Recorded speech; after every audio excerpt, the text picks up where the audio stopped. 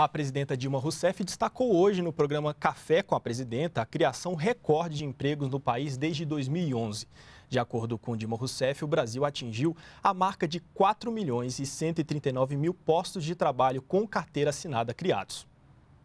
Esse aumento do número de vagas de trabalho é importantíssimo, porque um dos objetivos estratégicos do meu governo é manter o emprego em crescimento. Mais emprego e salário em expansão são os fatores essenciais para a diminuição da desigualdade no nosso país. A crescente formalização do trabalho no Brasil. A valorização do salário mínimo, cujo poder de compra cresceu mais de 70% nos últimos 10 anos. Os 19 milhões e 500 mil empregos gerados nesses 10 anos, mais a cobertura de políticas sociais de combate à pobreza, como Bolsa Família, Minha Casa Minha Vida, Luz para Todos e tantas outras, são os grandes responsáveis pela redução da desigualdade no Brasil, que nos orgulha muito perante a nós mesmos e perante ao mundo.